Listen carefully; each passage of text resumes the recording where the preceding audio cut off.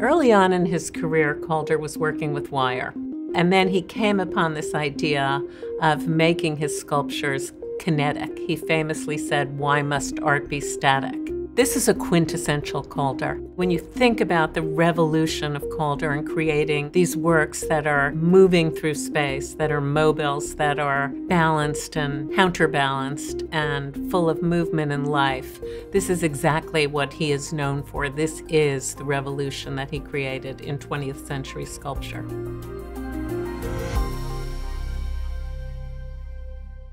It is my pleasure today to talk about Alexander Calder's monumental untitled sculpture from 1949. This work was actually a commission. He came to Rio de Janeiro and in 1949 created this spectacular piece for a client of Henrique Mindlin's named George Heim.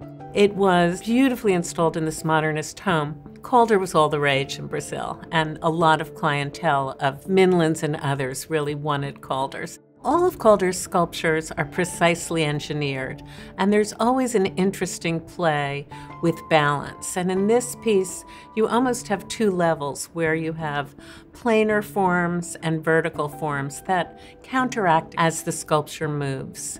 It's really poetry in motion. Calder's mobiles really define their surrounding space, and there's always a beautiful play of shadows on the wall. But the thing about it is, is they're a little bit unpredictable. Calder's pieces are very often organic. The forms loosely come from nature, but yet reinterpreted and remixed into their own composition, they become something new entirely.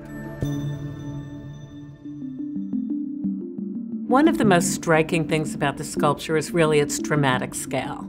It is majestic in its span. It's composed of 15 pieces of sheet metal that have been cut into biomorphic forms and then connected with wire into this beautiful composition that just cascades from the ceiling down. The entire framework of the sculpture is black, and then there's one red element. And the other thing which is so fantastic about it is that two of the pieces on different levels are perforated. Calder liked the perforations because it not only enlivened the surface of the sculpture, but it created the aerodynamics that made it move through space.